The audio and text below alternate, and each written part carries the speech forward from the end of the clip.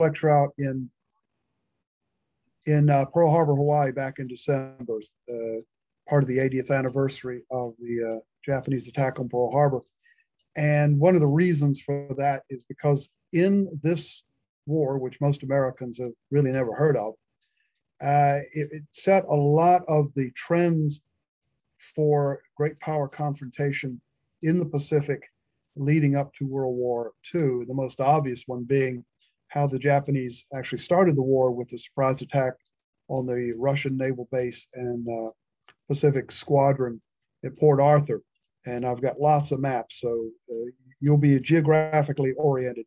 Uh, since, uh, as I say, most people are not that familiar with the geography of the area. So there are other things that come out of this case study. And one of the points I like to make uh, when I give this lecture is there were a lot of lessons about how modern industrial warfare was going to play out if people had just paid attention to them. Uh, for example, the power of artillery, uh, the effect of machine guns, uh, what was going to happen when you had massed citizen armies uh, on great extended battlefields. Unlike, say, 100 years earlier with uh, the Napoleonic War, where the battlefield, you could literally look across and see the whole battlefield at once. Well, in the 20th century, uh, battlefields would literally be hundreds or in some cases a thousand miles wide. So uh, that lesson was just simply not uh, not brought aboard.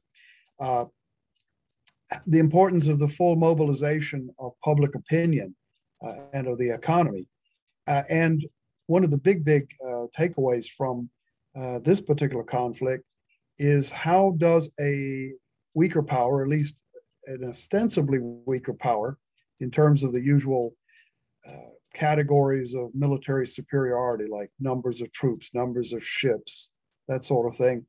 How does that weaker power actually defeat a stronger power? And uh, one of the interesting aspects uh, of the uh, all the wars that have occurred over the last, say, 200, 250 years, about a third of them have eventually been won by what was ostensibly the weaker power. This is certainly one of them. Uh, the American War of Independence would be another one. And so when you look at that dynamic, this is a, a very interesting uh, case study. Uh, and it fits nicely into the, the rise and fall of empires theme uh, in the sense of here you really see the rise of imperial Japan uh, by the uh, turn of the 19th uh, through the 20th century. So with that, off we go.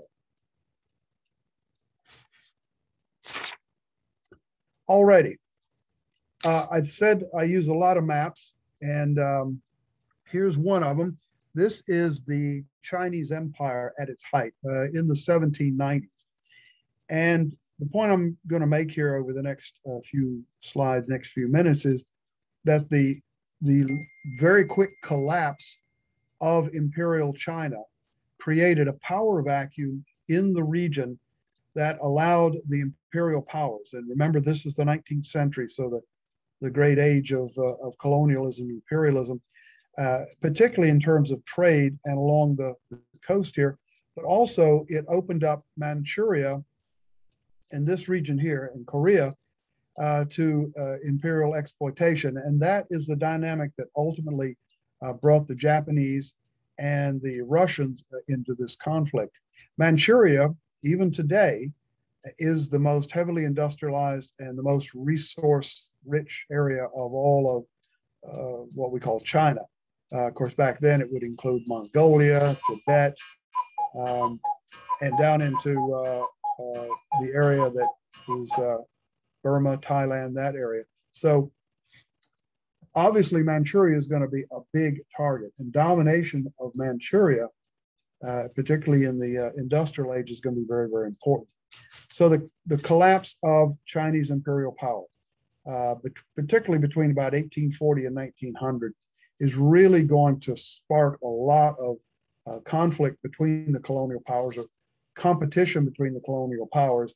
And uh, it's also going to be aided by the pretty dramatic and radical transformation of uh, these societies in the industrial age.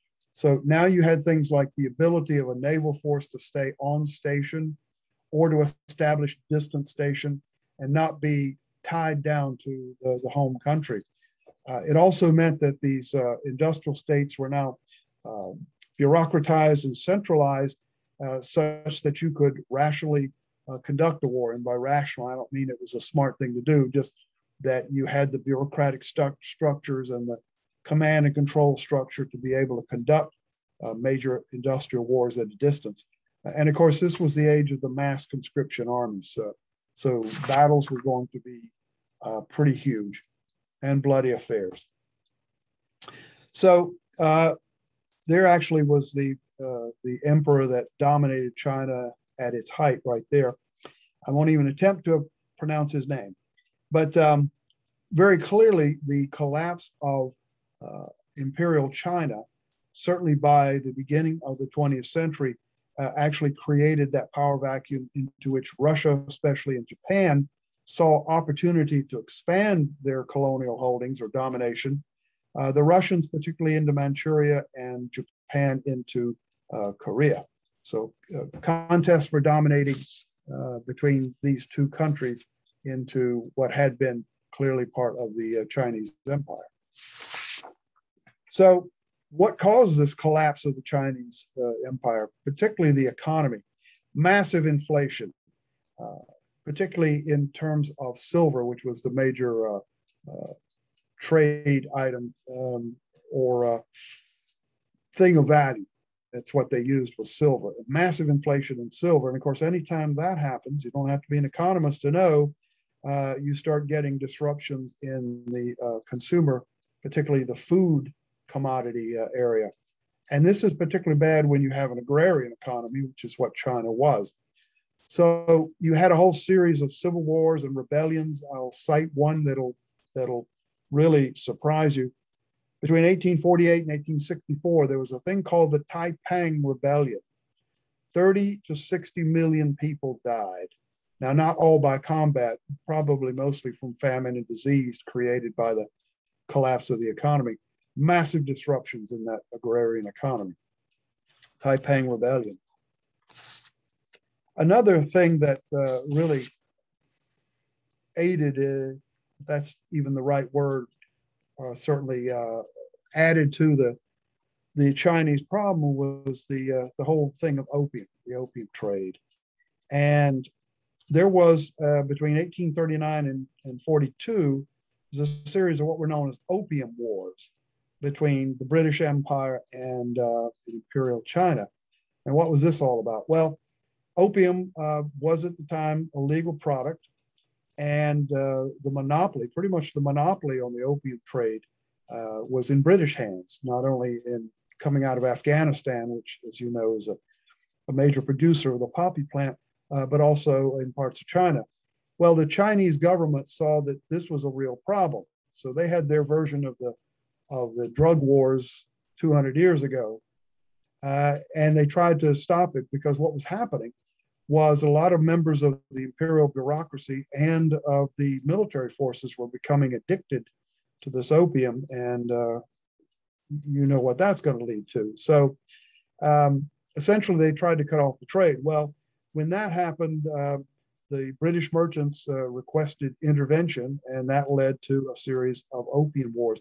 by the way, this is where, as part of the the um, negotiations and the peace treaty, uh, at the end of the war, this is where Britain got Hong Kong, or the 100 year lease or 99 year lease, whatever it was on Hong Kong. But what it did was it began to break open the, uh, the markets uh, in, uh, in China. Now, pre, previous to this, the, uh, the way you did business in China is a very closed type of uh, system. Canton, city of Canton was the only place where foreign merchants were allowed to trade with China. And so what would happen is the the uh, Chinese merchants would bring their products down to Canton, and that's where the exchange or sale would be made with the uh, uh commercial uh, entities there. And in fact, if you see these flags here, you can you can identify these countries. There's of course the United States. Uh, that looks like Sweden. That's probably Norway, maybe. oh no, Denmark, I think. Um, there's Great Britain. So this was the trade port where all these exchanges happen. And uh, essentially, uh, Westerners or foreigners were not allowed inland. Well, as a result of this series of wars, not only the Opium Wars uh, in the 1830s and 40s, uh, but war between Great Britain uh, and China and France and China in, in 1858 to 60, yet another round of wars. The end result here was that uh, China was forced to open up several more trade ports. They were called treaty ports. Also forced to give missionary rights, missionary rights. And so this was when you began to see a lot of Christian missionaries uh, going in uh, to try to proselytize uh, the Chinese. But for our purposes, a big thing that came out of this, 1860, this is when Russia obtained Vladivostok. And Vladivostok today still is the home port for the uh, Russian, previously the Soviet Pacific Fleet. So with that, 1860, now you're beginning to see the first movement of uh, the Russian Empire uh, into the Manchuria area. So not take a mental note, check, that's the first one. But a number of other things are going to start happening. Well, there was a, another war, the Sino-French War, 1884, and this is where France actually got Vietnam and where Britain got Burma. Uh, then it was known as French Indochina, and um, of course we all remember the uh, the Vietnam War occurring here, but it was a French colony up until uh, the 1950s. Uh, so yet another whole uh, round of wars going on between the uh, diminishing Chinese empire. You see Burma here, that had been part of the empire, leading up to pretty much the collapse of, uh, of imperial Chinese power uh, and creating that vacuum into which the uh, imperial powers jumped in. Well, now we get to the 1890s. What about Japan? Japan is going to now jump into the fray. And this uh, is a very short war, a few months, uh, but this was uh, fought over Korea. Now, Korea had been a client kingdom, I think is the best way to describe it, of the Chinese Empire, uh, dominated by uh, China, and foreigners were not, not allowed, basically. Well, there was a, a rebellion of sorts in Seoul, uh, in what is now South Korea, and the Chinese uh, sent in troops to quell it. Well, the Japanese jumped on this as a provocation and landed 8,000 troops in Korea, uh, claiming that they were there to protect uh, Japanese citizens and interests. Well, probably there were only two Japanese citizens and a German shepherd uh, in Seoul at the time because it was a closed society. So really, this was just a, a provocation for uh, Japan to jump in and to try to dominate uh, Korea. It led to full mobilization of uh, Japan. And there was a very short war. It was didn't last very long, uh, but the Chinese were thoroughly beat. And one of the big things that came out of this that's going to lead on to the uh, Russo-Japanese War is part of the settlement was China had to pay a 10-year indemnity, a very large indemnity. And it is with that money that the Japanese Imperial Navy was built. Uh, that is the money they used to purchase uh, essentially British warships to, uh, to staff their fleet. Uh, I, I, like to throw this in. There's a very famous American in terms of naval lore. That, that is Philo Norton McGiffin. Uh, he was a, an American naval officer who was essentially hired by the um, uh, Chinese uh, Navy to try to, to beef them up. Uh, he is the first American naval officer to actually command a modern battleship. It wasn't a U.S. Navy battleship; it was the Chinese Imperial Navy. Uh, nonetheless, he commanded it, um, and he was uh, well. You can see him there on the right. Uh, he didn't do too well out of one of the battles of the uh, uh, of the war. Uh, nonetheless, um, I like to throw up old Philo there because he's he's sort of famous, sort of famous naval officer. Well, as the imperial powers began to move in and become more aggressive. Uh, that set off the last of these internal rebellions called the Boxer Rebellion. of 1900. And the Boxers uh, were essentially it was a, an organic movement that was uh, trying to resist what they saw as the uh, as the influence, the evil influences they saw it, of the Christian missionaries uh, and, and, of Western culture in general. Uh, so it was a, an uprising against that. And it led to what was known as 55 Days in Peking, which, by the way, was a great movie from the 1960s with Charlton Heston playing the American Marine Major, uh, Ava Gardner playing the uh, disgraced Russian Baroness, and uh, my favorite all-time actor, David Niven, playing the uh, the head of all the collective imperial powers there uh, as the British representative. What happened was in Peking, which is the capital city, it was the legation district or the embassy district, and it was a walled city within the city. And of course, every uh, uh, embassy had their own embassy guards. In our case, it was the uh, the U.S. Marines. Uh, and so when this uh, Boxer uh, rebellion essentially attacked the legation and put it under siege for about 55 days. Well, why is this important for our story here? Because the Russians moved in a quarter of a million troops into Manchuria. So now they have complete domination of Manchuria, and there's nothing the Chinese can do about it. One of the other things that came out of that Sino Chinese War, uh, or Sino Japanese War of 1894 95, was where did the money come from for that indemnity? Well, it was essentially loaned by the Russians.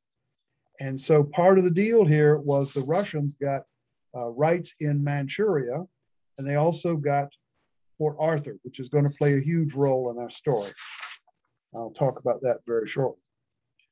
So the key point here, and to wrap this, this part of the lecture up, the collapse of that East Asian balance of power and of the Chinese imperial power, certainly as accelerated by the actions of the imperial powers, created that intense imperial conflict in the region, and particularly uh, between the Russians and the Japanese.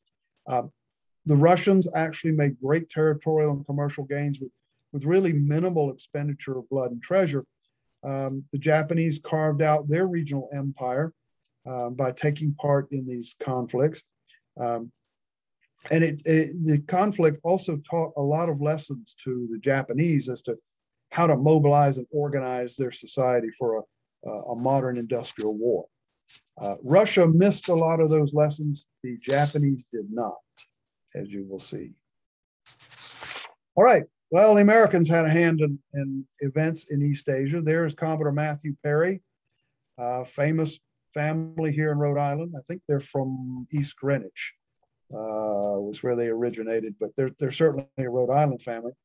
And if this were a live class, I would ask who is his famous brother, and everybody would raise their hand and say, well, of course, that's Oliver Hazard Perry. That's who he is naval officer Commodore Matthew Perry.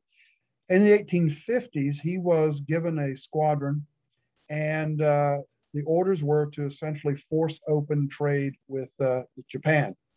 And it worked uh, because very quickly the Japanese, looking across the water and seeing what was happening to China in the face of uh, these uh, industrialized imperial powers uh, and their pretty easy ability to just simply overwhelm China and grab pieces of it uh, or grab trade concessions.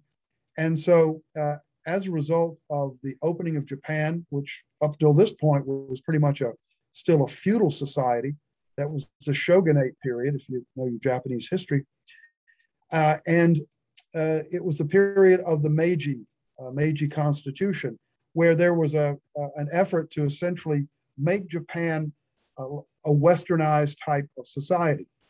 Uh, they, they transform literally within a few decades their entire uh, uh, social, economic life, culture from a very feudal, oriental, very xenophobic society uh, into one of the great powers by 1900, uh, certainly in the Pacific. A couple of things they did. Uh, First thing is they built their army and they said, well, look, we're going to look across to Europe. And at that time, who was the dominant military land power? Well, it was France till 1871 when they got thrashed by the, the Prussians and Germans. So after 1871, um, Japanese modeled their, uh, their, their army and their military administration and, uh, and all after the Prussian model. So if you're going to build a navy, which was the other uh, growth uh, in military power that they uh, uh, that they sought, you modeled after whom? Well, obviously the British Royal Navy. And in fact, one of the things up until I'm not sure when they, they cut it off, but certainly at least through World War One, uh, if you were a young Japanese uh, naval officer, part of your career advancement pattern would be to spend a couple of years serving with the British Royal Navy on a Royal Navy warship. Uh, Admiral Togo did this. you're going to see him shortly. And Admiral Yamamoto of World War II period did that as well. Um, so you learn from the best. The Prussians for uh, army, for military land operations, uh, and the British Royal Navy for uh, for your at sea. So the Japanese started building a fleet, and there is one of the very early uh, Japanese ships, ironclad ships. I used to say that this was the very first one in the in the Imperial Japanese Navy, and some student pulled me up short and said, ah, no, no, no, Professor Carpenter, it was the whatever. So my response was, okay, whatever. The point being here is you're seeing them start to build as early as the late 1860s um, towards a modern uh, iron navy. And uh, then, uh, as many of you know, you've seen me do a live presentation where I would pop out a, uh, a, uh, trivia question so my trivia question here would be, can anybody tell me uh, what this ship was, how it started life? And I've never had anybody get it yet, but I'll tell you what it is. It was the former Confederate States Navy Stonewall, the CSS Stonewall. Uh, it was one of the very few Confederate ironclad ships to actually survive the war. Uh, it was obviously taken over into the US Navy at the end of the war, sold to Japan, and um, and it served in their fleet uh, very early on. So what you're seeing here is the Japanese attempting to acquire and build a modern industrial age Navy. Now, why is that important? This is the late 1860s, say 1870. Look what they're fielding just 30 years later. There is the next Azuma. And by the way, if you're interested, uh, look up the um, uh, the Azuma today. Uh, the current Azuma in the Japanese Navy, also known as the Maritime Self-Defense Force, it is basically an aircraft carrier. Now, for political purposes, they're calling it an anti-submarine warfare cruiser. It's an aircraft carrier. So the Azuma, uh, that name has a long history in the uh, in the Japanese Navy. Uh, so here we have 1900. Now that ship was actually built in France. Up until this time, probably 1910, 1915, uh, Japanese shipyards and Japanese heavy industry had not yet matured to the point that they could build uh, anything larger than a small boat uh, destroyer type. Uh, certainly, cruisers and battleships were going to come primarily from British shipyards, uh, or as in this case of this ship, from a French shipyard. But I, I think that the difference is pretty profound between this one and this one. And it's only 30 years later. And there you have the Mikasa. This was the Japanese flagship uh, for the entire war, and uh, particularly at Tsushima. Built in Britain uh, for the Imperial Japanese Navy, it was the Royal Sovereign class the HMS Royal Sovereign class. In 1900, this was the state of the art in, uh, in battleship uh, design and building. And with that uh, indemnity, remember that? That indemnity uh, from China uh, that was actually funded by, uh, by the Russians in exchange for concessions in Manchuria, that's what the Japanese used to buy these ships. And so there you have it. By the way, she's now a museum ship in Yokosuka, Japan, just outside the the naval station that's jointly used by the uh, uh, Japanese Navy and the U.S. Navy Pacific Fleet. So um, uh, if you happen to ever be in Japan, in, in the Yokosuka, Japan area, uh, this is well worth seeing. I'll show you a picture of her in the in her berth as a as a museum ship. so the Mikasa, Japanese flagship, and by 1904 they had four of this class of ships. All right, now let me turn to what was going on that really led to the war, how it broke out, how it evolved. There is Tsar Nicholas II, the last of the Romanov or Romanov uh, emperors. That's Tsar. That's what that means. Um, he was an interesting character, uh, totally unsuited to be uh, to be uh, ruler of anything more than maybe a restaurant and that's no insult to restaurant owners. Uh, he just had no capability really to be ruling a major power. Uh, he was considered an unlucky ruler, uh, but he believed it was his destiny to expand um, the Russian Empire into the east. Uh, and so when he became czar in 1894, this was one of his uh, policy imperatives uh, was to push the uh, Russian Empire into the east. Problem was, Russia was a highly autocratic society, meaning that the word of the czar was it. Now, there was a, a representative assembly that had really no teeth called the Duma, uh, but real power rested with the czar. So if you had a strong, powerful czar like, say, Peter the Great, or even Ivan the Terrible, or Catherine the Great, uh, you were doing fine. But if you had a weakling like Nicholas II, uh, you're going to have some problems. Essentially, the uh, the kingdom was run like an imperial household. Uh, so there really was no representative uh, assembly, nor was there a, a, cabinet that could take on responsibilities.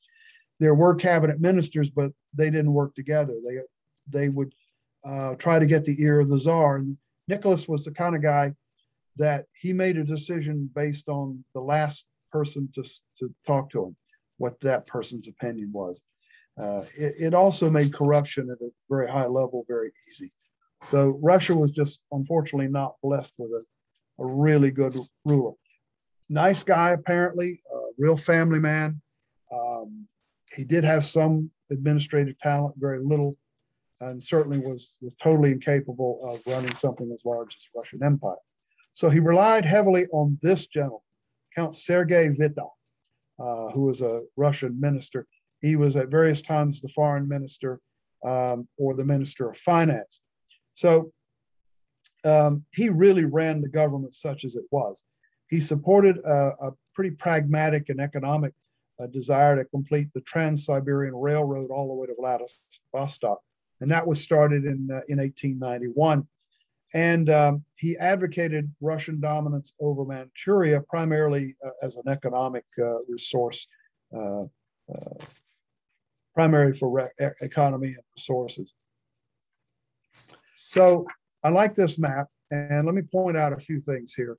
Uh, unfortunately, I don't think we can see the northern part, but there you see the, uh, as it was completed, the Trans-Siberian Railway all the way to Vladivostok but look at this spur down here. There is the Liaotung Peninsula, and there is Port Arthur. So remember that. Uh, Port Arthur down there. Uh, there's Beijing or Peking. There's Vladivostok. There, of course, is Japan. So um, the Russians, by 1904, had these two uh, naval bases. One of the reasons why they had Port Arthur was in that 1894-95 war between China and Japan, China was forced to give up Port Arthur to Japan, who wanted to make a naval station there. But there was a lot of pressure. It actually was known as the Triple Intervention, uh, where uh, France, Germany, and uh, the Rush, uh, France, Germany, and the Austrians pressured Japan into giving Port Arthur to the uh, uh, to the Russians. Well, you can imagine the Japanese reaction to that because they spent a lot of blood and treasure to get that and so that's going to be another bone of contention uh, between the uh, the two imperial powers now, Russia and uh, and Japan. I'll come back to this map because it's a it's a good one. So I mentioned the Trans-Siberian Railway there and the various spurs. It was 5,500 miles of single track. And there's a problem. Single track means you can only go one way at a time. And because of this, typically only about uh, five pairs of trains per day could travel anywhere on the Trans-Siberian Railway. It also was light rail, uh, which meant you didn't have as powerful uh, locomotives, as heavy locomotives. And so in some points, it could barely make uh, seven, eight miles per hour. And another aspect, and again, I don't think you can see this, uh, maybe you can, but up around here is Lake Baikal. Now, eventually they had a spur line that went around the lake, but initially uh, it, the uh, railway line stopped at the shore of the lake. And if it was wintertime, you could walk across or take a sled across. Um, in the summertime, you did go by boat, but the point was you had to stop, get on some other form of transportation, and pick it up on the other side.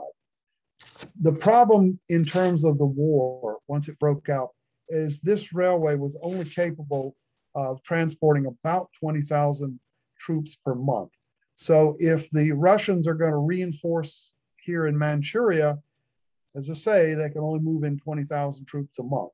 That's going to have a, um, a heavy influence on how they actually craft their war strategy, as you will see very shortly. Well, that is what uh, Europe more or less looked like. This is Europe in 1914, but it really hadn't changed all that much, uh, other than uh, the uh, the Ottomans had been pretty well whacked around in uh, in this area here, and we're in retreat. But that's essentially what Europe looked like in 1904. And if you look at this border here, there is Imperial Germany, there is Imperial Russia, and there's the Austro-Hungarian Empire. They all border on each other, and they don't like each other. And so the, the biggest concern in Russia, here's, um, you can't see it behind here, but there's uh, St. Petersburg, um, and down here is Moscow. The big concern is Germany and Austria Hungary. And so what you see is as a potential for war in the East with the uh, Japan is beginning to, to bubble up. Here's what General Alexei Kuropatkin, uh, when he was war minister in 1900, commented uh, on getting sucked into a war uh, with the Japanese. He said, quote, to the delight of Germany, in directing our attention to the East, we are giving her and Austria a decisive preponderance of forces and material over us.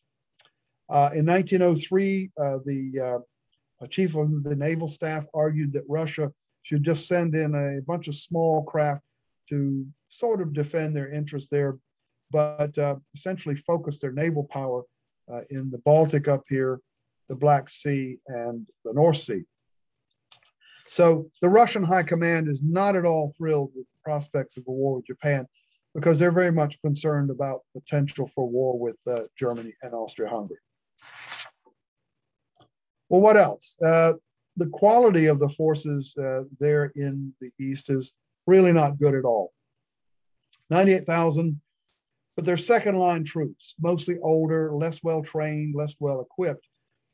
Now, overall, the Russian forces are pretty uh, pretty robust. 1.1 million active duty and 4.4 million reserve troops. Um, so that's over 5 million altogether. But as I just pointed out, uh, or you can extrapolate from what I said about the, the thinking in Moscow, obviously the best troops, the best formations are stationed in Europe. Uh, the Russians are really pretty hesitant to um, to send their first line troops off into the east where they might just simply be trapped you know, in a useless war with Japan. So this is going to lead essentially to a purely defensive strategy of hold until reinforced, hold until reinforced. And that is going to give the strategic initiative to Japan.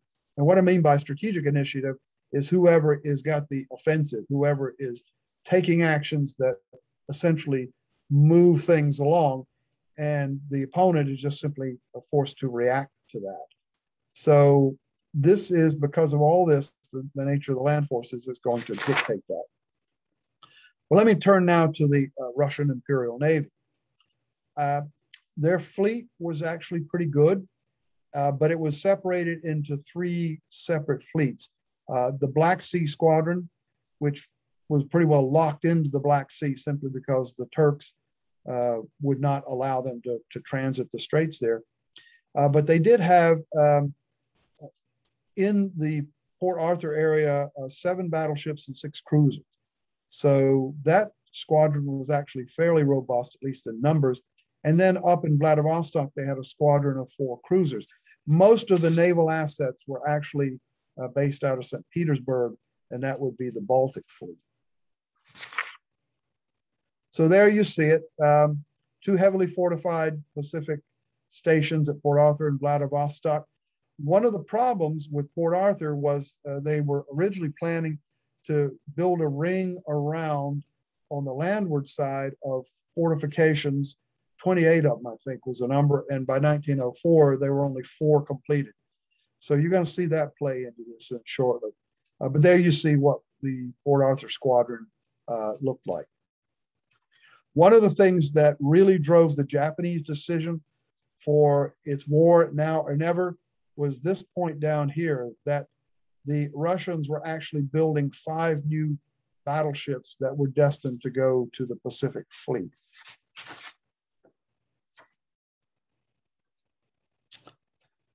Well, once the war did start, and I need to mention what were Russia's political objectives, uh, which I think are sort of interesting. This is their this was their policy objectives for the war destroy the Japanese Navy, totally disarm Japan, disavow all treaties, make Japan merely a, uh, the army merely a constabulary force, uh, change the whole Japanese regime, the government, uh, and end all Japanese continental ambitions. Uh, that's pretty robust. Uh, the Emperor uh, Nicholas II actually envisioned landing and invading Japan and essentially conquering it. So pretty, uh, pretty interesting policy objectives. In terms of uh, Russian strategic assumptions as the war started, the first thing was to preserve the naval strength. In other words, keep that Port Arthur squadron uh, intact until it was ready to deliver a decisive blow to the Japanese fleet. They also assumed that the squadron would be safe in the anchorages, defended by those land fortifications. But remember, they weren't yet complete. And once you once you move in troops even slowly, as you build up your force, eventually you're going to simply overwhelm Japan. So it's a hold until reinforced uh, kind of a, a, strategic war plan. So, key point preserve naval power in East Asia, uh, fight a holding action in Korea. If you got pushed out of Korea, you just simply back up into Manchuria. Uh, if you lose there, you just simply go back, go back, go back, because eventually the attrition of the smaller power, Japan, is going to wear them out, and they're they'll be subject to a, a counteroffensive by uh, by the Russians. That is their hold until uh, reinforced or hold until relieved uh, type of uh, strategic mentality. Well, let me turn now to Japan. You see quite a contrast here standing army, active duty, six, uh, 200,000, 600,000 reserves. So you're looking at a force balance of 5.5 million Russians to 800,000 Japanese. Um, however, they had adopted that Prussian, particularly the German general staff system, and that, of course, is going to give them a, a lot more efficient uh, planning and operational execution, as the Russians will sadly find out shortly. So, how about the Imperial Navy? Well, I mentioned that they had the best built, uh, state of the art British ships available. Um, they used that indemnity to purchase it. They had six new battleships of the Mikasa class. Um, oh, sorry, four of the Mikasa class and two of another one, and six uh, armored cruisers, which, uh, say, in World War II, those would be known as heavy cruisers. Uh, so the naval balance is more or less balanced but it's going uh, to be temporary. Uh, if the Japanese wait long enough, uh, what will happen is those five new battleships will arrive and the, the balance of power is going to change dramatically.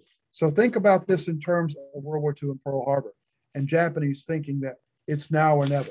We've got to attack now or never because the balance of forces is going to, to go heavily against us. So that's part of their, their thinking in 1904. And you're going to see it's part of their thinking in 1941 as well. So there you see it. Um, the Japanese Navy, I mentioned, was British trained and equipped. Many Japanese officers had served aboard Royal Navy uh, warships.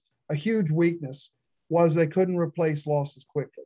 Um, certainly, they couldn't build anything larger than destroyers, but even if they were going to purchase, how long is it going to take to get there? So, what they needed was a quick, decisive victory or a QDV. One of the things that did play in their favor was uh, they had what we would call internal lines of communication, uh, meaning that they were based right there in the area and they could literally uh, get a ship underway from Yokosuka or Tokyo and be on station uh, literally within hours. Certainly, the Russians could not do that. So, the distance from the home ports was very important uh, uh operationally and particularly for uh, logistical sustainment uh, of the troops ashore. Well, there's the Katori class battleship. they had two of these not quite as good as the Mikasa class, but certainly uh, qualitatively uh, very, very good. There, by the way, is Admiral Togo, Vice Admiral Togo. And there is the Emperor, known as the Mikado. Now, August 1903, uh, tension is rising between Japan and, uh, and the Russians over uh, this uh, potential conflict uh, over Manchuria and Korea. And so uh, the Japanese proposed an agreement called the Manchor Exchange. The Manchor Exchange, pretty simple agreement, uh, actually. Japan will be preponderant in uh, Korea as their sphere of influence. The Russians would be preponderant in Manchuria, but each side had an open door to conduct trade in the other's sphere of influence. And of course, all troops uh, would be removed from uh, both the spheres of influence. Well, the Russians didn't respond right away to this diplomatic overture. Uh, the Japanese saw that as stalling tactic, when actually what was going on was the uh, the Russian government was was so um, disorganized and inefficient that um, and indecisive that uh, no answer ever came back. So um, the Japanese, as I say, took this as uh, uh, stalling tactics. Well, the talks broke down by early 1904. So on the 13th of January, Japan issued its final offer uh, and sent a message that, quote, further delay in the solution of the questions will be extremely disadvantageous to the two countries, end quote. And they broke off negotiations on the 4th of February and then a surprise naval attack on the Russian naval station at Port Arthur happened on the night of the 8th of February. So there is your strategic surprise. So what about this attack on Port Arthur on the Russian squadron? The night of 8 to 9 February 1904.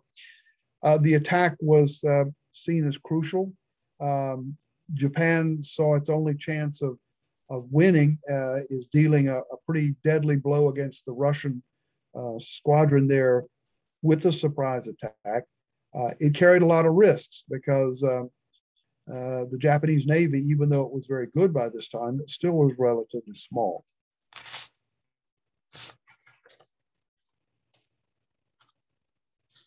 This is an interesting uh, painting.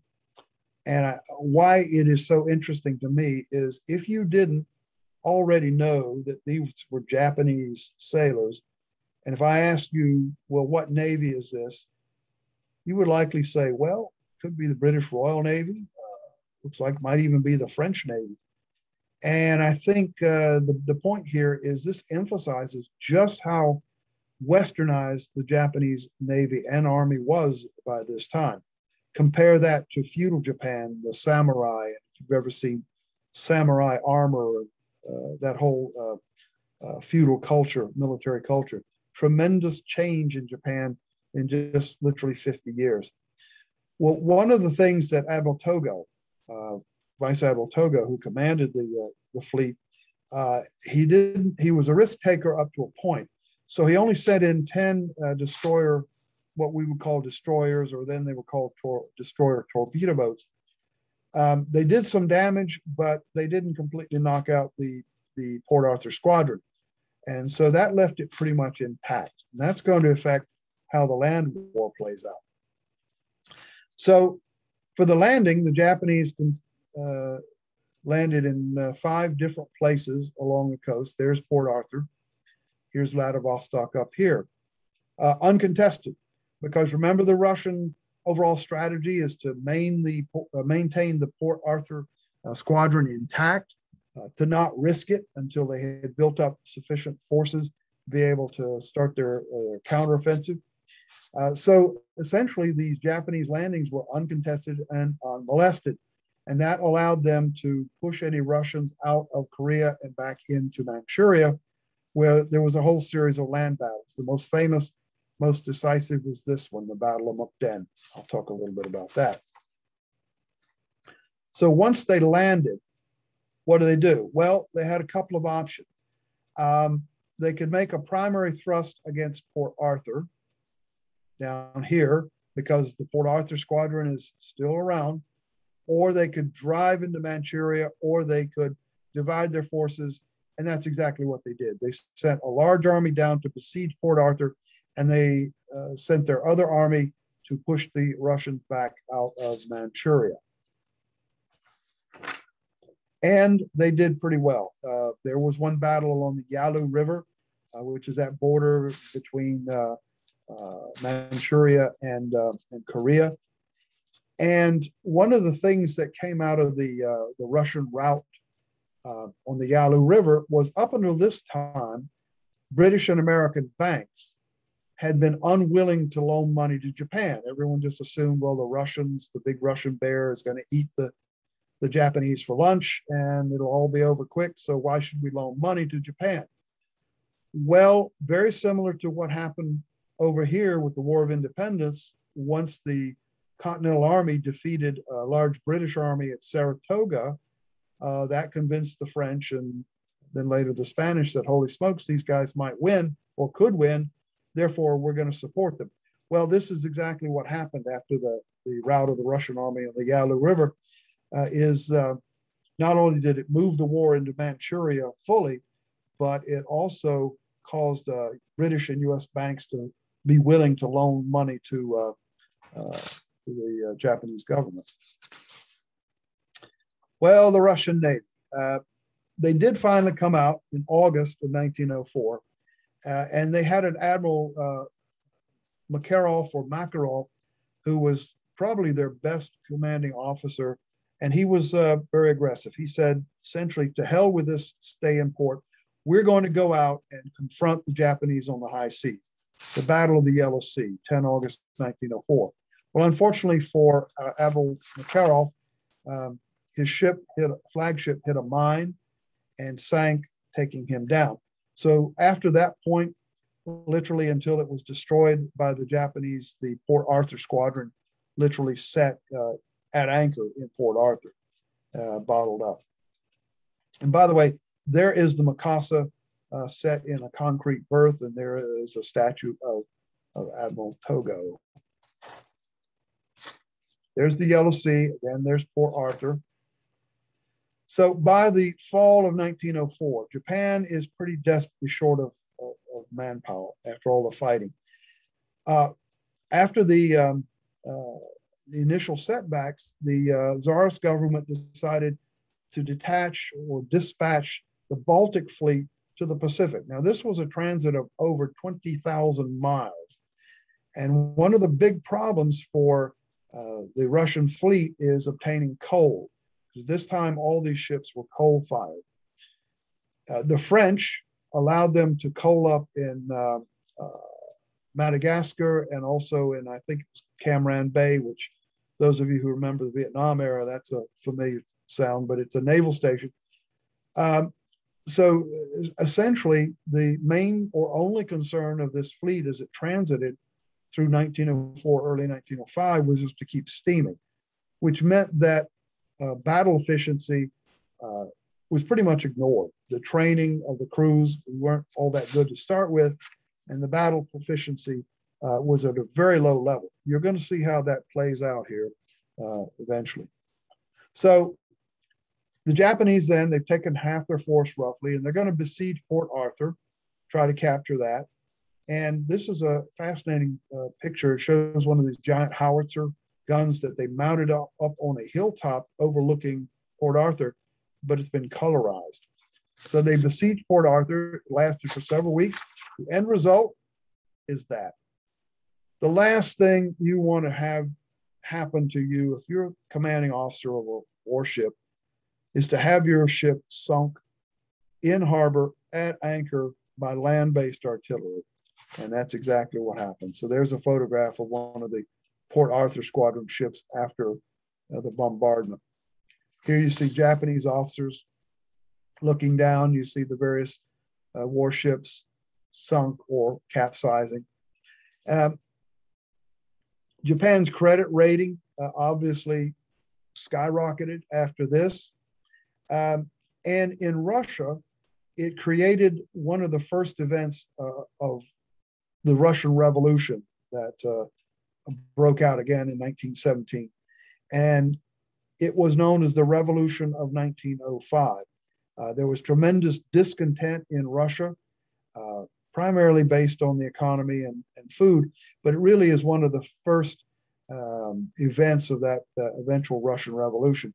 So, with that, with all this internal discontent, with the loss of the Port Arthur Squadron, uh, and and also the Battle of Mukden, which is going to happen very shortly, uh, the Russian government decides hmm, might be time for war termination. There's just another picture of sunken uh, Russian warships at Port Arthur. Why Mukden? Well, Japan needed a victory. Um, they had been fighting on several fronts. They'd lost about 25% casualties. Remember from the numbers, they didn't have all that many to start with. Uh, and so by this time, uh, even though it was slow, 20,000 troops a month, Russian troops and better troops were in fact filtering into uh, the theater. And Japan realized uh, they needed to have a major victory and force the Russians to the negotiating table. And so they massed all of their forces that they could get and they attacked the Russians at a place called Mukden and thoroughly thrashed the Russians. This is a very interesting uh, picture here. If you look very carefully, you can see it looks like a series of panels. And that's exactly what they are. They're roughly uh, eight by four, or they might be even a little larger, kind of like a sheetrock panel size. Well, this is the age where motion pictures are just beginning to come online. Uh, photography is there and it's great, but one of the ways that the Japanese used to tell the story to the public uh, was by this whole series of panels.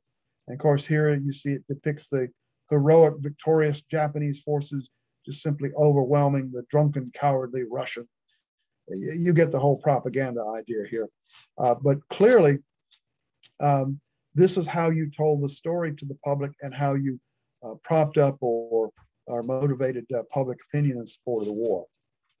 So the, the battle at Mukden, very, very important for Japan because it's one of those key things followed very shortly uh, by the Battle of Tsushima Straits um, that you're going to see next that convinced the Russians it's time to quit. Well, I mentioned the Vladivostok squadron earlier. Uh, four cruisers, three of them actually went on a sortie in June of 1904 just for about three or four weeks. They did so much damage to Japanese shipping and commercial shipping that all sailing traffic between Japan and the west coast of the United States and Canada was shut down. Why was it shut down? Because of maritime insurance rates. Uh, we've all heard of Lloyd's of London, the maritime insurer. Wasn't the only company insuring maritime, but if they set the lead, everybody followed. Well, Lloyd's of London, realizing just how many ships had been attacked and sunk around uh, Japan by just three cruisers, three cruisers out of Vladivostok, that they stopped all trade. Insurance companies raised the maritime rates. Uh, and actually, some of the uh, Japanese troop ships were attacked and sunk by just three cruisers on a three to four week cruise. My point here is that had the Russians been more aggressive with their naval assets, they could have completely undone Japan, um, completely uh, eliminated any possibility of, of uh, reinforcing or resupplying that uh, force uh, in uh, Manchuria or Korea.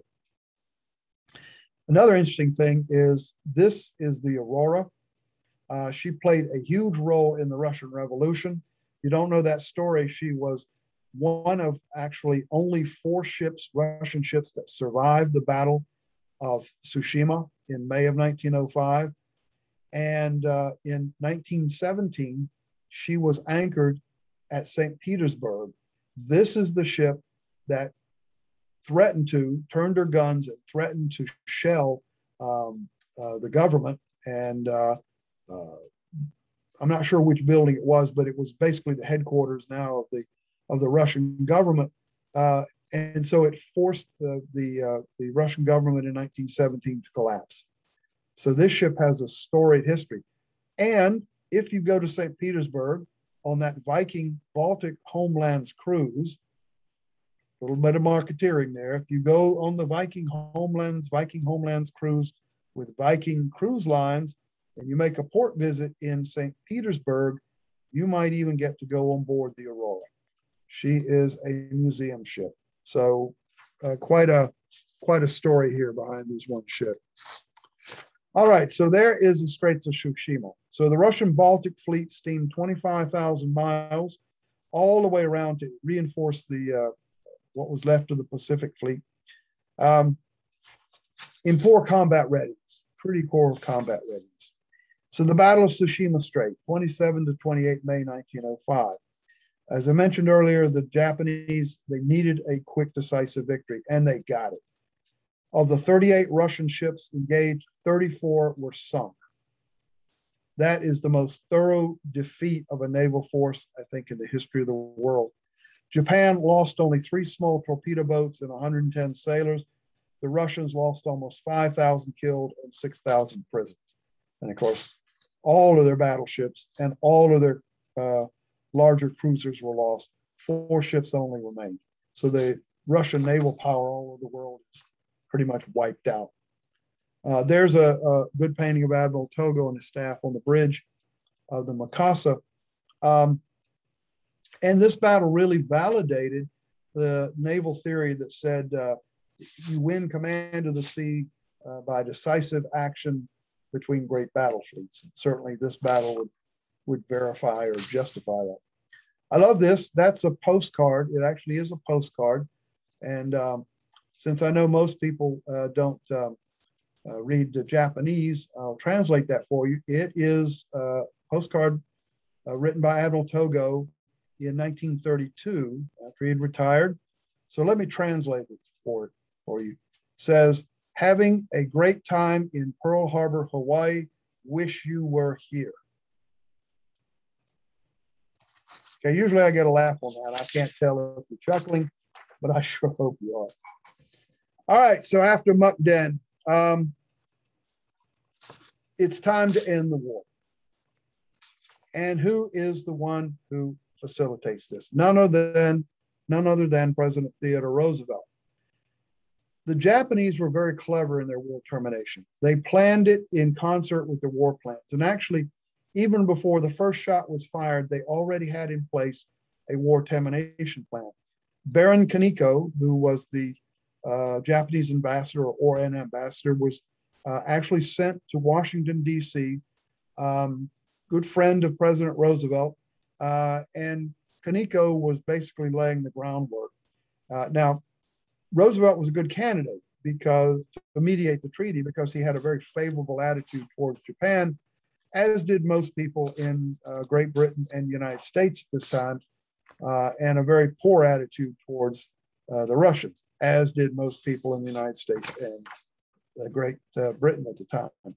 So uh, they got together and at the Portsmouth uh, Naval Shipyard, which actually is in Kittery, Maine. It's not in Portsmouth, New Hampshire, but it straddles the border. Uh, they got together in that treaty room. Interestingly enough, uh, is still around. You can you can actually go in and see the treaty room. Well, um, Baron, uh, or sorry, Count uh, Witte was the Russian uh, chief negotiator. Japan really only had three overarching core unalterable conditions. Um, one was that Russia acknowledged Japanese domination over Korea Port Arthur would go to Japan, uh, as well as any uh, Russian naval assets that remain. And the South Manchurian Railway will go to Japan. I don't think that's a whole lot of uh, of uh, unalterable demands or core demands. Now they did have some other ones, um, like some indemnity and whatever, but uh, their plan was to go in and give up a lot, give up a lot if they had to in order to get those core demands, which in fact they did.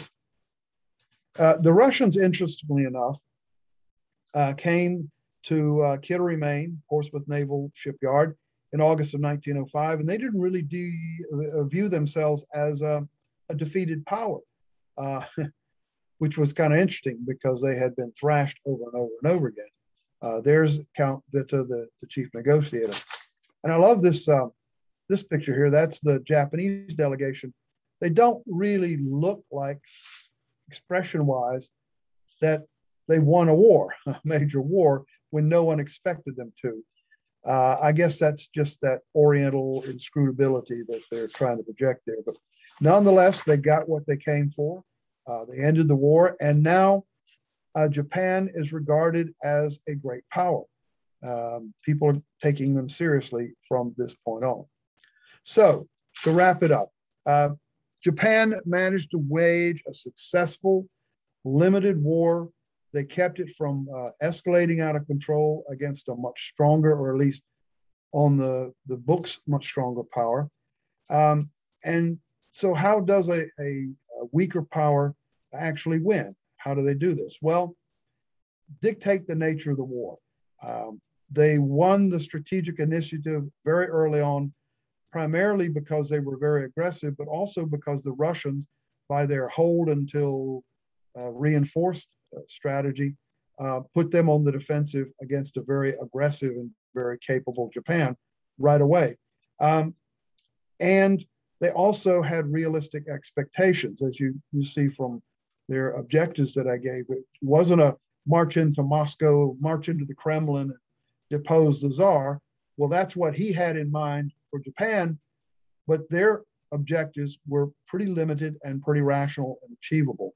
Uh, and so I think if you look at uh, all the dynamics of the Russo-Japanese War, um, that's how a, a, minor power or a lesser power can actually defeat a greater one. So uh, that leads on to the 1920s and 30s. Japan is on the Allied side. There are actually uh, Japanese Navy destroyers operating in the Mediterranean uh, against the, uh, the Germans and the Austro-Hungarians. Uh, the Japanese felt that they were shortchanged with the Treaty of Versailles that ended World War I, that they weren't given enough credit. They actually did kick the Germans out of China uh, and the Pacific Islands. What they did get were the Mandate Islands, like the Marshalls, the Marianas, and oh, by the way, now we go down to the 1940s and World War II. They have fortified all those. And so if you look at World War II, the Central Pacific campaign going across the Pacific aimed at the Japanese home islands, uh, they're coming up against these largely former Ger uh, German possessions that Japan has obtained after the war and has fortified and uh, created this uh, uh, defensive ring. Um, and the other lesson that the Japanese took from it is the way to start a war against a greater power, particularly one that can bring a lot more power into the field as time goes by, is to knock out their uh, their power initially uh, by surprise naval attack. that happened at Port Arthur in 1904. And that's their thinking as to how to do it. And that's what's going to lead on to the Pearl Harbor attack of December 7, 1941.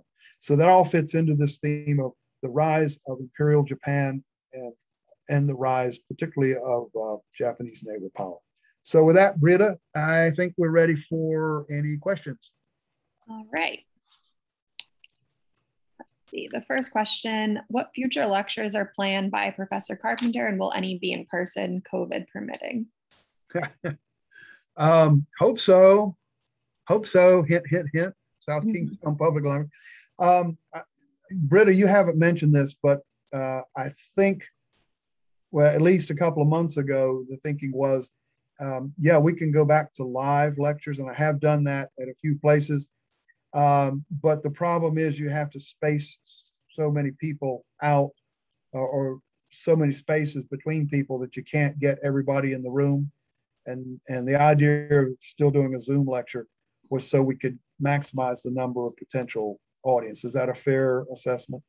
Yes, at least at, our library, the limit is 20 people, and there's more than 20 people in this meeting, so yeah. more people are able to see. Yeah, and we and we had, I think, for the first lecture, we had 40. So, mm-hmm. um, yeah, so it, that was just a decision to to maximize the number. Is there any thinking on when we might be able to go back live without these restrictions? I'm not sure. Hopefully sooner than later, but right now um, we went back to wearing masks inside and we have the same limitations. Um, so I'm not sure. I don't have a date in mind yeah. for that, but hopefully soon. Do you well, have any worth, other Zoom um, sessions? Yeah. Um, what do I got? The the next one up that uh, I know a lot of folks in the audience also do the uh, the uh, Osher Lifelong Learning Institute at URI. Mm-hmm. Uh, that's going to be, I don't have the calendar from me. I think that's in April or May. Uh, and I'm not sure what the topic is. Uh, but those of you who are members of OLLI, just keep an eye on that because there is another four part session coming up uh, sometime later this spring. As far as at South Kingstown, um, presumably it'll be about this time next year. Don't know what the topic will be. We have to work that out. Uh, and in um, in the fall, I'll be uh, at um, Warwick Public Library, which did go live this this past uh, uh, autumn because they have a much larger room and they can fit them in. So uh, keep an eye on that, uh, Warwick Public Library. Um, but as far as Zoom lectures lined up, uh, there aren't any at the moment that aren't specific to some historical association. In other words, they're not open to the public. They're specific to some group or institution. But those two, keep an eye on them, OLLI and uh, Warwick Public Library. All right, I'll, while you're answering this next question, I will look at the OLLI calendar and see if I can find those dates and send them in the chat. Okay.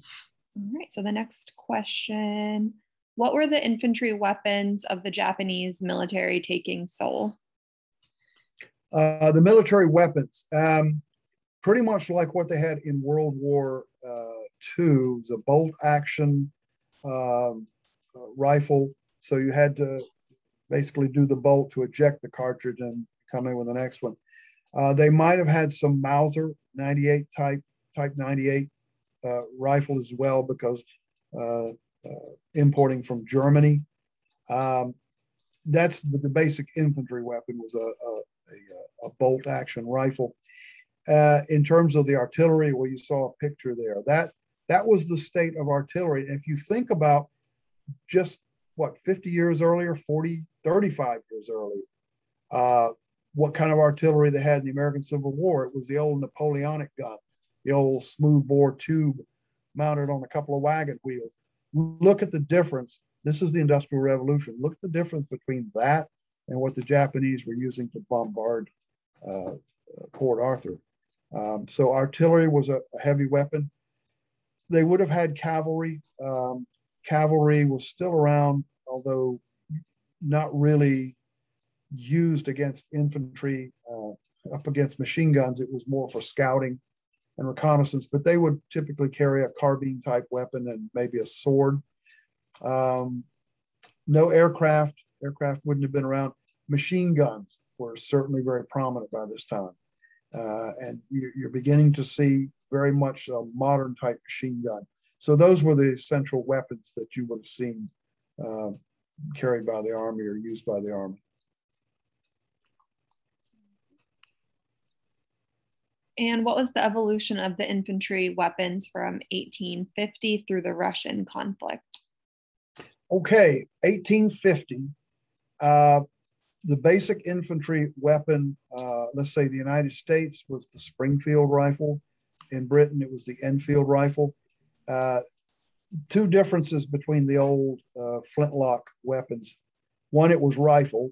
Uh, industrial machine uh, manufacturing had reached a point where you could actually uh, cut the grooves in rifling fairly easily, whereas in the previous century you had to hand turn them very slowly, and that was why there were very few rifles. Um, it still looked an awful lot like an old-fashioned musket. Big difference is in 1850 it would use a percussion cap, which uh, was just a little, uh, usually made out of brass, and it had fulminate of mercury uh, in it and when the hammer would come down, it would hit that fulminate of mercury, which would cause it to blast, and that would set off the, uh, the powder charge. Still was a pour the powder down the barrel uh, primary weapon, although there were some breech loading weapons coming along about the 1860 or so. Um, so you're beginning to get uh, breech loading, uh, and you're also getting uh, uh, metal cartridges. But 1850, they were still like the old bite off the end, pour the powder down. Um, by uh, this time, 1900 or so, as I said earlier, you've got the standard infantry weapon, which was a, a bolt action uh, rifle.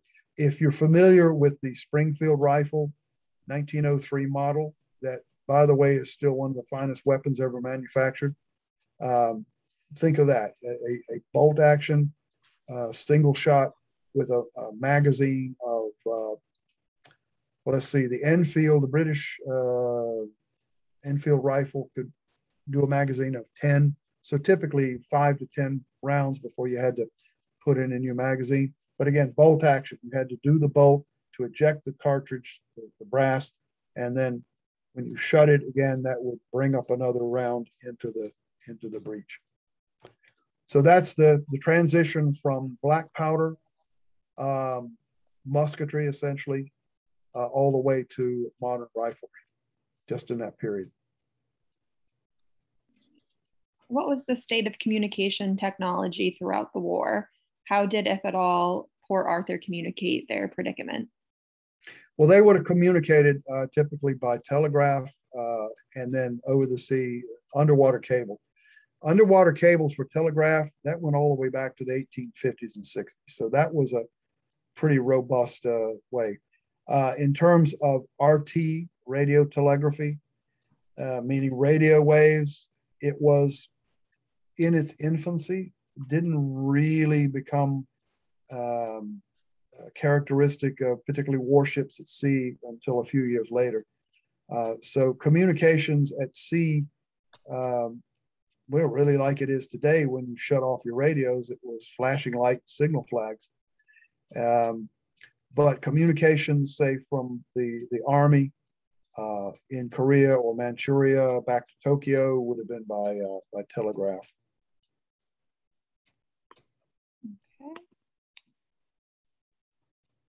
How did Japan do so well at the Korean Strait? How did Japan do so well in the in the what now? At the Korean Strait. Oh, oh, you mean Tsushima? I think that's what you mean. You mean the the uh, yeah, it's also known as the Korean Strait uh, oh. because it separates Korea and Japan. Well, one thing is pretty obvious um, is the Russians are just simply worn out. They just sailed 25,000 miles. Um, they had to, because of the coaling problem, uh, they basically had big sacks of coal piled up on the decks and over everywhere. And so that inhibited doing any training, maintenance, all those sorts of things. So by the time they arrived uh, there at Tsushima, uh, the crews were out of practice, ill trained, exhausted, and just not really combat ready. Japanese, on the other hand, were fully up to speed, well trained, well drilled. Uh, certainly not uh, not exhausted because uh, their their home ports were just only a few hours steaming away. Um, and so I think that was the biggest difference.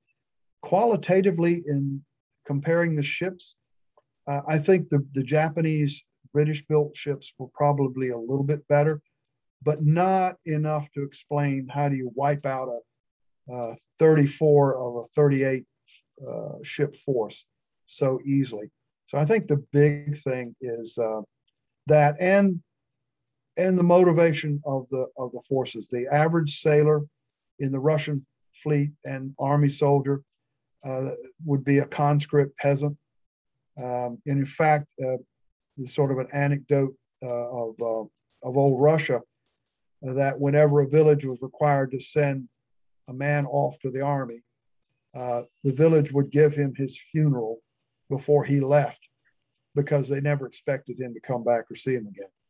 And so I think just the attitude uh, of the uh, and motivation and dedication uh, of the individual uh, soldier or sailor was probably a lot lower uh, than the Japanese. So you put all those factors together, and I think that explains why it was such a dramatic victory. Right. Um, this is four of your seven lectures in the Rise and Fall series.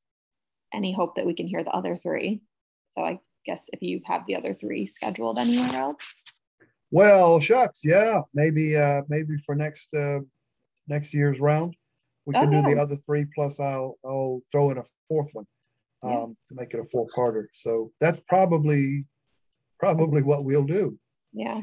Um, the other ones, I, uh, let's see, Rise and I did Japan, I did uh, Greece, I did Rome, and I did Napoleon. Right. Yep. So I have the um, uh, what else do I have? 1918, the collapse of Imperial Germany. So that's the last year of World War One. Um, I've got the Franco-Prussian War, Bismarck, von Moltke, Franco-Prussian War, 1870-71, uh, the rise of Imperial Germany. I've got one on the uh, uh, French-Algerian War, which a lot of Americans are not familiar with, but that really was the last gasp of the, of the French Empire uh, and the creation of an independent Algeria. Uh, that's the 1950s, and then I can come up with a, a, fourth one. So yeah, let's let's plan on that. The other part of the rise and fall of empires. So that'll be next winter. So stand mm-hmm. by for that. Which that answers question number one that we had a mm. few minutes ago. Yeah. yeah. All right. Another question. Aside from allying with the US, what strategic measures is Japan planning to counter to China's growing presence? Do you mean today? Well, one of my very good friends is retired Admiral Yoji Koda. Uh, his last billet or his last um, uh, tour, I guess we'll call it, he was the commander in chief of the of the fleet. And so, those of you that know World War II history, uh, this would be the same position as Admiral Yamamoto had. So, commander in chief for the combined fleet, the operational fleet. So, Admiral Koda was that um, before he retired. He comes over here all the time. Uh, if there's any event going at Pearl Harbor, um, he's there speaking. Uh, he spent a couple years um, uh, on a fellowship at Harvard. He comes to the Naval War College all the time, loves to come to the States. And he's very frank about Japan's future and past and why things happen, whatever. His concept is what is going to happen with Japan, primarily because of the China question, is very soon you're going to see um, this whole idea of a, a maritime self-defense force. It's going to go away. It's the Imperial Japanese Navy. They have an emperor, it's a navy, and they're Japanese. Um, and one of the things that you're beginning to see is uh, Japan, the ships going about beyond that thousand mile restriction that was laid on them in the Constitution of uh, post-war World War II. Uh, so they're they're operating. In fact, they come here every year, every summer, Uh, there are a couple of Japanese warships that come and make a port visit uh, at uh, Naval Station Newport. And um, so I, what Admiral Koda says is that as the concern for China uh, evolves and has been growing for a while, what you're seeing is Japan basically remilitarizing. Uh, the big difference is I'm damn glad they're on our side this time uh, uh, because well, we know the, the history of World War II and, and what they can do. Um, the other thing that's happening, and I alluded to this with the Izumo, is they're starting to build up their capital force. Um, they have two, maybe even a third one on the way, uh, what are called ASW cruisers. The reason why they do that is by law in the Constitution, they can't have aircraft carriers. Well, you look at them, they're aircraft carriers because the idea in anti submarine warfare is you use anti submarine aircraft, particularly helicopters. Um, and uh, so that's what they're armed with the anti submarine helicopters. But the reality is, you can fly uh, aircraft off these, the vertical, uh, like the Harrier or the uh, the F 35 variant that, that literally lifts up and goes. I saw this in the Mediterranean in 1982 off USS Nassau just to prove it could be done. Uh, they put all the helicopters in the hangar deck and we operated 20 Marine Corps Harriers, the vertical lift Harriers. So that basically became a, a, uh, fixed wing aircraft carrier. That's what the Japanese are doing. And, um, and uh, so I think you're going to see some, some dramatic changes, growth in the, the Japanese Navy as a, a counter or reaction to, to Chinese uh, uh, provocations and the growth of the Chinese Navy. Looks like the last question is How did Japan manage to lift those huge artillery weapons in the heights over Port Arthur? okay. Yeah. Um, now, obviously, they would have had a few uh, trolleys and engines and that sort of thing, but a lot of it's just human and animal muscle power. Um, but yeah, that's that hill is I think it's a hill 231 was one of the primary. So that would have been 231 meters tall, which is what about 200, 3, 6 to 7, 800 feet tall. That was a pretty substantial heft to get those things up there. But I think it probably would have been largely uh, animal uh, muscle power and some human, and they might have used some some type of primitive machines. All right, I think that was the last question for now. So, okay. Anything else? Um, I'm looking at some of the uh, some of the chats here. Let me see if there's anything there real quick. Uh, somebody did laugh. Excellent. Uh, yeah. You win the prize tonight. Okay. Yeah, that's one of the problems with doing a Zoom is that I don't get any, I can't see any of you except Britta. So I don't know uh, what the reactions are, and it makes it very difficult to do this, but it's what we do. Um, let's see, aside from aligning with the US, what strategic measures Japan planning? I think I addressed that fairly well. Um, Japan is dependent upon a blue water navy. China can't match it. Uh, yes, very much so. Uh, the Japanese ships, uh, in fact, they they use a lot of our technology, um, particularly uh, our um, Arleigh Burke class ships, if you look at the Japanese destroyers, they look very much like ours. So there's a lot of compatibility there.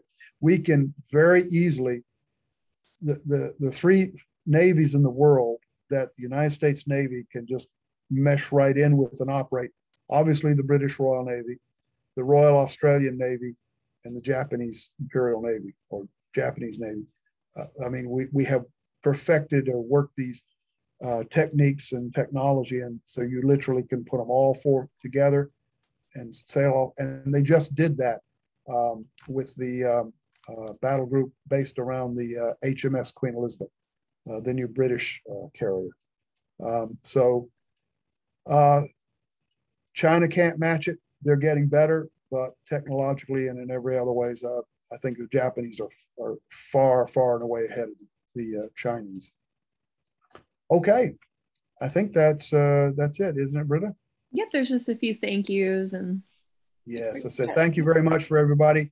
Uh, hope this has been enjoyable as usual and, uh, look forward to seeing some of you at OLLI and, uh, just, just keep an eye on these public libraries because, uh, they, they pop in and out.